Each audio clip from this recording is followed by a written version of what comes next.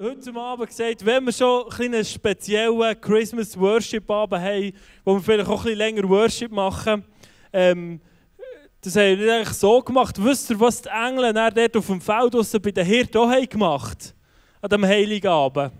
Was haben sie gemacht? Das weiss niemand, hä? Hey, nochmal. Gesungen! Die Engel haben gesungen, stell dir das mal vor, Weihnachten. Sie haben, äh, es heisst, ein riesiger Chor von Englisch und sie haben geworshipped. Sie haben gesungen, Ehre ist dem Gott in Höhe. Und wir haben gesagt, hey, weil es um die Ehre geht, weil es um den Jesus geht, wollen wir heute den Fokus auf Worship legen. Und darum Zara und ich auf die Idee gekommen, hey, dann lassen wir doch auch den Worshipper predigen und uns erzählen, was hat sich mit dem Worship eigentlich auf sich. Und ich freue mich mega. Janu Baume, er ist... Woo! Ja... Er ist ein junger, 23-jähriger, knackiger Typ, der von Anfang an vom Blästun mit dabei ist. Seit etwa zwei, drei Jahren fix im Team und einer von unseren Worship-Leitern. Und ich bin mega begeistert, dass du heute Abend dein Herz teilst in Bezug auf Worship. Wir sind mega gespannt, was Gott dir hat gegeben Merci vielmals. Merci. Ja, hallo zusammen. Ja, wir haben gefreut, paar Gedanken heute zu teilen mit euch über das Thema Anbetung. Ähm, was ein riesiges Thema ist. Und wenn wir die Bibel lesen, dann kommen wir nicht darum herum, um die Frage, betest du Gott an oder nicht? Vom Anfang in der Bibel, vom 1. Mose bis in die Offenbarung, wird einem die Frage gestellt, betest du Gott an mit deinem Leben? Und ich möchte zum Start einen Teil der zehn Gebote einfach mal in den Raum stellen. Die zehn Gebote sind für uns Menschen nicht einschränkend zu verstehen. Gott ist nicht einer, der dir Sachen verbietet, sondern er ist ein liebender Vater, der es gut meint mit deinem Leben, der, dir einen Rahmen geben möchte, wo, wo befreites Leben möglich ist. Wegen dem rede ich persönlich immer viel lieber von den zehn Freiheiten. Weil wenn du nämlich in deinem Leben nie jemanden umbringst, zum Beispiel, dann musst du nie ins Gefängnis gehen. Und dein Gewissen ist nicht belastet und du bist in dieser Hinsicht frei. Und eine weitere Freiheit lesen wir eben auch im 2. Mose, Kapitel 20, Vers 3 bis 6. Und dort heißt du sollst außer mir keine anderen Götter verehren. Fertige dir keine Götzenstatue an, auch kein Abbild von irgendetwas am Himmel, auf der Erde oder im Meer. Wirf dich nicht vor solchen Götterfiguren nieder, bring ihnen keine Opfer dar, denn ich bin der Herr dein Gott. Ich dulde keinen neben mir. Wer mich verachtet, den werde ich bestrafen. Sogar seine Kinder, Enkel und Urenkel werden die Folgen spüren. Doch denen, die mich lieben und sich an meine Gebote halten, bin ich gnädig. Sie und ihre Nachkommen werden meine Liebe über tausende von Generationen erfahren.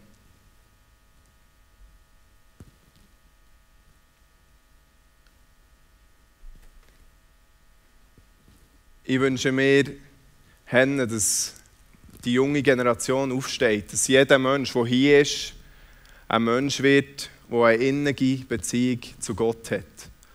Wo Gott arbeitet, wo seine Güte versteht, hinter diesen zehn Geboten zum Beispiel.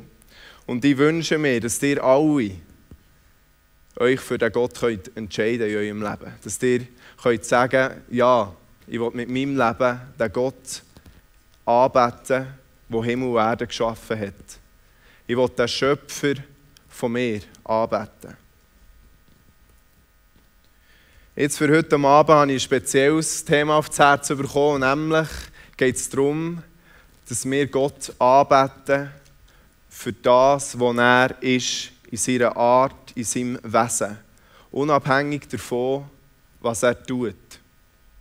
Und dafür gehen wir in die Geschichte vom Hiob. Die Geschichte vom Hiob ist eine spezielle Geschichte in der Bibel. Es ist eigentlich das Thema von einem das Thema von dem Buch ist, wie geht es um einen Christ, der eigentlich leidet.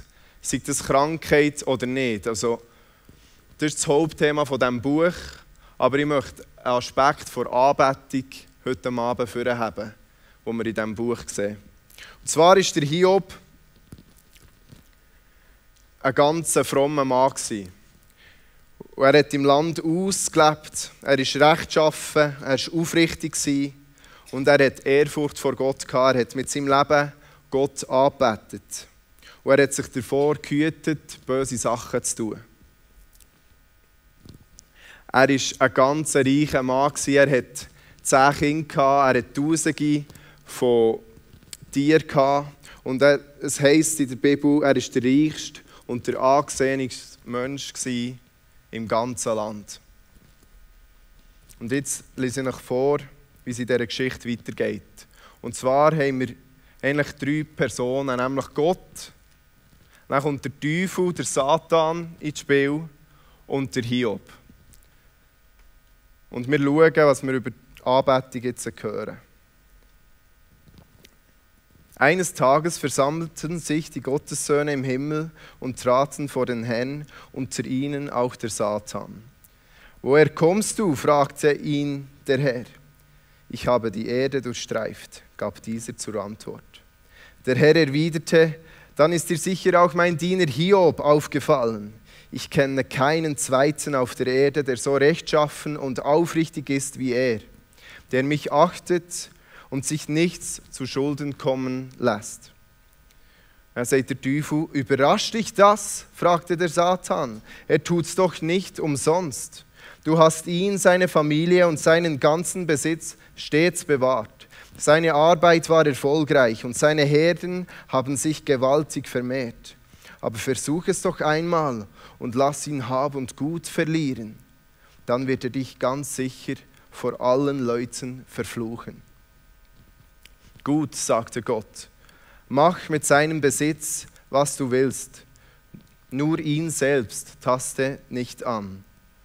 So verließ der Satan die Gegenwart des Herrn.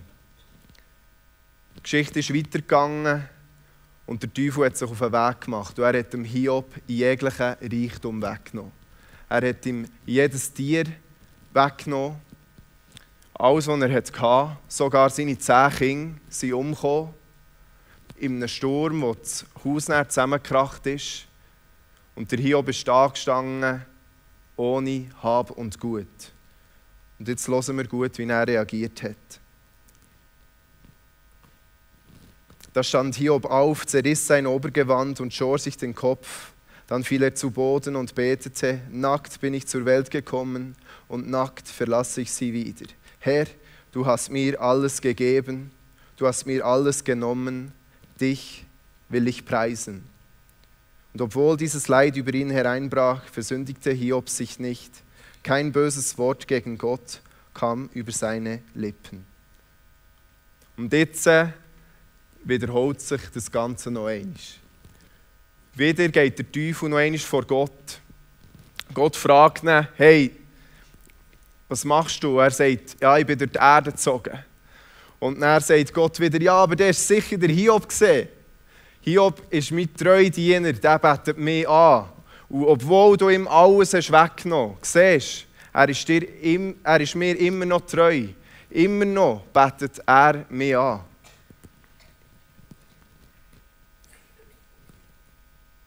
Der Satan erwiderte bloß, kein Wunder, er selbst ist doch noch mit heiler Haut davon gekommen. Ein Mensch gibt alles her, was er besitzt, wenn er damit sein eigenes Leben retten kann. Greif nur seinen Körper und seine Gesundheit an, ganz sicher wird er dich dann vor allen Leuten verfluchen. Der Herr entgegnete, ich erlaube es dir. Greif seine Gesundheit an, doch lass ihn am Leben. Da ging der Satan weg vom Herrn und schlug zu. Eitrige Geschwüre brachen an Hiobs Körper aus von Kopf bis Fuß.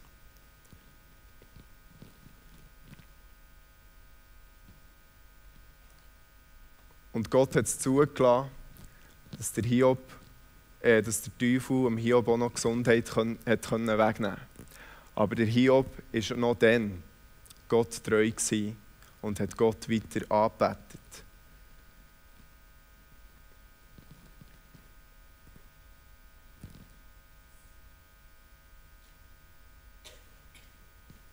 Das Ziel des Teufels ist, dass du Gott nicht anbetest. Das Ziel des Teufels war, dass der Hiob Gott untreu wird und dass er Gott verflucht. Und das Krasse ist an dieser Geschichte und der Punkt, den ich euch weitergeben möchte, ist folgendes. Wenn der Teufel Recht hatte, wenn er wirklich Recht hatte, das heisst, wir Menschen könnten Gott nur anbeten für die Sachen, die, die wir haben. Zum Beispiel, dass wir reich beschenkt sind oder dass wir gesund sind. Aber so ist es nicht. Wenn der Teufel Recht hatte, dann wäre es so, dass Gott rein in seinem Wesen, wer er ist, in seiner Persönlichkeit, seine Eigenschaften, nicht genügend wären, für ihn zu lieben. Versteht ihr das? Wenn der Hiob hat eine ganz tiefe Beziehung zu Gott. Alle die Umstände haben ihn nicht davon abhalten, trotzdem Gott treu zu sein und weiter Gott anzubeten. Vielleicht sind Leute heute Abend hier und du argumentierst bisschen ähnlich wie der Teufel. Vielleicht siehst du um dich herum, vielleicht auch Christen, die ein gutes Leben hatten Gott hat sie vor vielen Sachen bewahrt. Sie hatten ein gutes Elternhaus. Sie haben behütet aufwachsen Und du hast das vielleicht nicht gehabt. Du hast vielleicht durch Sachen durch müssen gehen, die niemand anderem wünschst. Und du sagst, ja, wenn ich so behütet hätte aufwachsen dann könnte ich Gott auch anbeten. Die möchte ich ermutigen, Gott eine Chance zu geben, dir zu zeigen, wer er ist. Unabhängig davon, wie die Umstände sind, wo du drinnen steckst.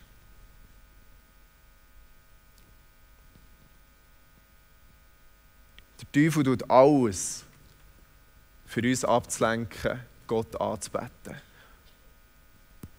Er hat am Anfang der Geschichte in der Bibel hat er Gott gleich sein. Er war ein Engel und er ist eifersüchtig auf Gott geworden. Hochmut hat ihn übernommen. Und er wollte gleich sein wie Gott. Und er hat selber angebetet werden. Und das ist das, wo er heute noch dran ist. Die und mich. Jeden Tag probieren abzulenken von, von Anbetung zu Gott.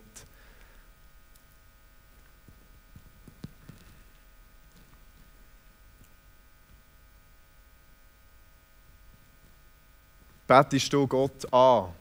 Oder nicht mit deinem Leben, ist die Frage. Durch die ganze Bibel durch. Und das Krasse ist, dass, dass ein Entscheid für Gott muss getroffen werden Es ist so, dass du, wenn du dich in deinem Leben nicht entscheidest, dass du dich automatisch gegen Gott hast entschieden hast.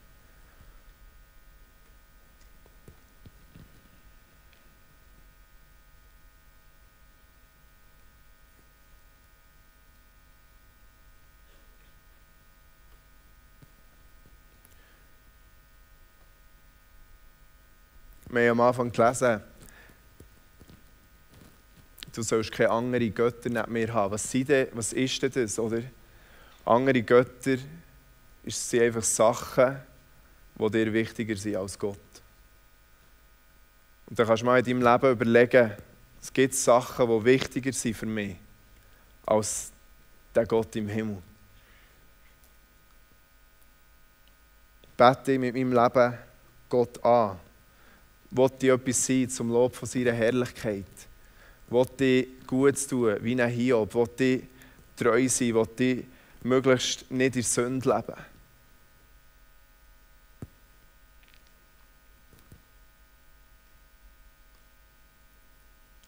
Wisst das ist eben genau das Schönste von dieser ganzen Geschichte, dass es möglich ist, verliebt zu sein in Gott. Und das ist etwas, was ich euch heute Abend weitergeben möchte. Es ist eben möglich, dass Gott dir nichts müsste geben, aber rein durch seine Gegenwart und das, was er ist, wie er ist, kannst du dich verlieben in ihn. Wachst die innige, tiefe Beziehung zu ihm, wo, sag jetzt mal, der dick und dünn eben auch fest ist. Egal, wie die Umstände in unserem Leben sind. Und das ist eine krasse Botschaft. Und ganz viele Leute von euch haben vielleicht auch schwierige Sachen durch müssen. Aber dass wir eine Generation, Generation können sein können, die Gott über diese Sachen erhebt. Dass wir tiefe Anbeter können sein können. Wir wollen nicht nur einfach Gott anbeten, wenn es uns gut geht, wenn, wenn, wenn coole Musik da vorne spielt, wenn, wenn eh alles cool ist im Blästun und es einfach vielleicht fällt, Gott anzubeten. Nein, sondern wir wollen auch mit unserem ganzen Leben immer wieder einfach Gott verehren und ihn lieben und ihm treu sein. Das wünsche ich mir speziell auch für heute Abend, dass wir Gott anbeten können, aus Reaktion auf seine Herrlichkeit. Ich bete, dass Gott heute mit seiner Herrlichkeit hier hineinbricht und dass wir ihn dürfen erkennen, wie er ist. Dass du persönlich einfach kannst reagieren auf ihn, unverkrampft. Wisst ihr, wenn wir Sachen von Gott erkennen, dann ist Anbetung nichts Anstrengendes. Vielleicht erlebst du bis jetzt Anbetung anstrengend. Und ich bete, Vater, dass du heute Geist vor Offenbarung und vor Erkenntnis schenkst von deiner Gegenwart, dass Menschen neue Sachen von dir dürfen und sie dürfen verliebt werden in dich für das, was du bist. Ich möchte jetzt in einem zweiten Teil noch ganz praktisch darüber reden, über Musik, wo wir ja hier immer wieder auch im Blessed Tun haben, aber auch sonst in jedem Gottesdienst wird ja gesungen. Und dieser Frage ganz kurz nachgehen. Das hat nämlich mit dem König David angefangen. König David hat nämlich einmal entschieden, er möchte Gott ein Tempel bauen, ein grosses Haus, wo, wo Gott mit seiner Herrlichkeit drinnen wohnen kann. Und man muss sich das mal vorstellen, dort hat er 38'000 Leute angestellt. Also es war ein Business. Und von diesen 38'000 Leuten waren 4'000 Leute nur Musiker. Und die 4000 Leute waren wieder aufgeteilt in 24 Abteilungen. Ihr könnt das in der 1. Chronik, Kapitel 23, nachlesen. Und von diesen 4000 Leuten hat es noch 288 Me also Meister im Gesang heisst es. Und die haben die anderen einfach angeleitet und sie haben jeden Morgen und jeden Tag, äh, jeden Morgen und jeden Abend einfach Gott gesungen und ihn verherrlicht, so wie wir es hier auch machen. Musik ist, ein, ist, ist einfach ein, wie ein Transportmittel, es erfasst Körper, Seele und Geist. Ihr kennt das von den Schubmatchen, wo die Leute durchdrehen Ihr kennt das auch von, von einem traurigen Lied, wo plötzlich wo etwas macht vielleicht mit dir, wo du merkst, ja, jetzt werde ich auch traurig. Genau gleich mit einem fröhlichen Lied, das kann die Atmosphäre verändern und dein Gemüt auch verändern. Und anbeten wollen wir auch immer mit Körper, Seele und Geist. Wir sagen in der normalen Kommunikation zwischen Menschen, ist 55 Prozent, eigentlich Körpersprache aus. Und ich glaube, genau gleich ist es so, wenn wir mit Gott reden. Ich glaube, er liebt es, wenn wir ihn mit unserem ganzen Sein anbeten. Wenn wir nicht nur still für uns, vielleicht in Gedanken, Gott erheben, sondern wenn unser ganzer Körper da verfasst wird und dass wir ihm die Hände zum Beispiel aufstrecken, als Zeichen von Begeisterung. Oder dass wir auf die Knie gehen, als Zeichen von Demut. Ich glaube, er liebt es und er sieht unsere Körpersprache. Er sieht, ob du etwas sagst und auch so meinst. Oder er sieht, ob du mit einem Lachen in deinem Gesicht ihn anbetest. Und das wünsche ich mir auch für hier im Blessed Hund, dass das darf zunehmen darf, dass wir ihn immer mehr mit Körper, Seele und Geist können anbeten können. Unsere Anbetung zeigt der Welt, wie wichtig uns Gott ist. Wenn jemand hier reinkommt, Christen nicht kennt, Gott nicht kennt, dann zeigt unsere Anbetung, wie wichtig uns Gott ist. Und ich glaube,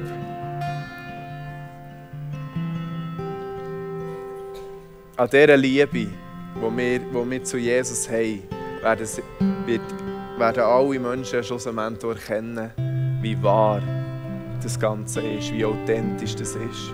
Und sie werden sagen, oh, so begeistert von Gott möchte ich auch sein. Ich möchte auch eine Beziehung zu dem Jesus haben, der so tief ist. Jetzt für heute Abend oder allgemein, wenn ihr in Zeiten von Anbetung hineinkommt, möchte ich euch ein Bild weitergeben von einem Restaurant. Und die Bibel braucht das Bild vom Bräutigam und von der Brut. Jesus ist der Bräutigam und die Gemeinde von Jesus, alle Gläubigen zusammen, das ist Brut. Und ich möchte es dir euch vorstellt, jetzt ist einfach ein geniales Date in einem herrlichen Restaurant. Und ein Restaurant ist nämlich etwas Spezielles. Dort gehst du ja nur her. Ja, gehst ja nicht jeden Tag her und jedes Mal, wenn du etwas isst. Also heisst, du kannst selber zu dir schauen, daheim in deiner Küche. Aber wenn du in ein Restaurant gehst, dann ist das etwas Spezielles und du hast auch grosse Erwartungen. Und genau gleich seid ihr nämlich heute auch hierher gekommen. Mit etwas mehr Erwartungen als vielleicht eine stille Zeit daheim. Und Jesus, der ist richtig der perfekte Mann. Das kann man wirklich so sagen. Er ist ein Bräutigam, der seine Brut so richtig umwirbt. Ihr müsst euch das vorstellen, er hat alles gegeben für euch. Er hat sein Leben gegeben. So weit ist seine Liebe gegangen. Und er hat sein Leben gegeben für Menschen, die Sünder sind für Menschen, die nicht perfekt sind, hat er sein Leben gegeben, weil er so eine Liebe für jedes Einzelne von euch hat. Und er ist da, hockt vis-à-vis von diesem Tisch, äh, vis-à-vis am Tisch von dir und möchte mit dir reden. Er möchte dich kennenlernen, aber er möchte genau gleich auch, dass die Brut ihn besser kennenlernt. Jetzt müsst ihr euch mal vorstellen, es ist das Date und die Brut ist einfach, nimmt das Handy vor. Und, und ja. Oder wie fühlt sich da, wie fühlt sich da der Bräutigam? Fühlt sich recht verarscht, oder? Er möchte, er möchte mit seiner Brut reden, aber die Frau ist die ganze Zeit am Handy. Was ist das für eine Faust ins Gesicht? Und genau gleich wünsche ich mir eben auch, dass wir in Zeiten vor Anbetung und vom Lobpreis unsere ganze Konzentration auf den Bräutigam haben. Dass, dass wir uns nicht ablenken Dass wir ganz praktisch unsere Handys versorgen. Und dass wir diesen Respekt immer darbringen. Das wünsche ich mir, wenn wir jetzt in die Zeit vor Anbetung gehen Ganz speziell. Und er liebt es, wenn wir ihn einfach anbeten für das, was er ist. Und das dürft ihr komplett in der Wahrheit machen. Ihr müsst nichts irgendwie sagen, was ihr nicht von Herzen.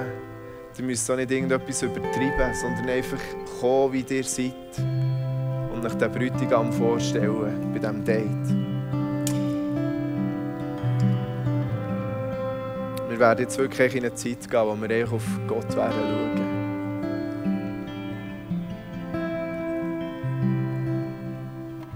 Und vielleicht bist du heute Abend da und du hast durch die einzelnen Vers oder auch durch die Geschichte vom Hiob gemerkt, dass du mit deinem Leben Gott nicht wirklich anbetest besitzen. Und wenn du mit der Hilfe von Jesus Gott möchtest anbeten mit deinem Leben, dann bitte dich, dass du auch zum Ministry-Team gehst in dieser Zeit und mit denen einfach austauschst, mit denen redest über das. Sie werden dir erklären, was, was, das, äh, was das auf sich hat, Gott anzubeten. was Jesus so ist, hat da, indem dass er auf die Welt ist gekommen, indem dass er am Kreuz ist gestorben für dich und mich. Und vielleicht bist du aber auch da und du bist in einer gewissen Rebellion gegen Gott.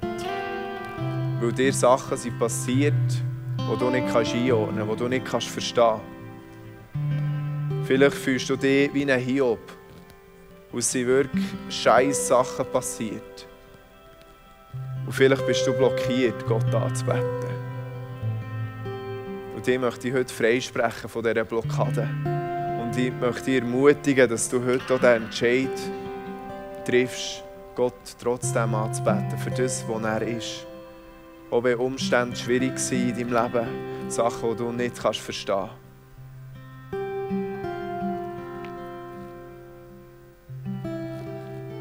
Stehen wir zusammen auf.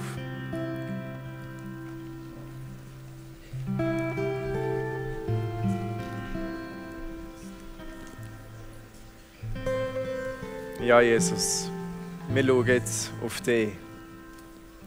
Und unsere volle Konzentration ist auf dir und unsere Aufmerksamkeit ist bei dir. Vater, ich danke dir. Siehst du jedes Einzelne, der in diesem Raum ist. Ich danke dir, siehst du, was jedes Einzelne braucht. Und ich danke dir, kommst du mit deiner Herrlichkeit in den Raum, dass wir mehr und mehr erkennen wer du bist. Und wir wollen dich einfach lieben, wir wollen dich ehren, wir wollen dir ein Wohlgeruch sein.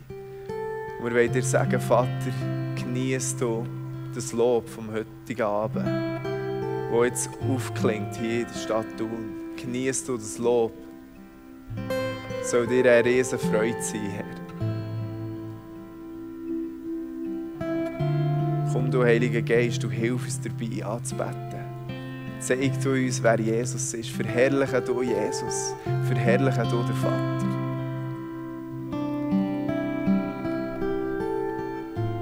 Alle Ehre gehört dir. Wir wollen dich allein anbeten und niemand anders.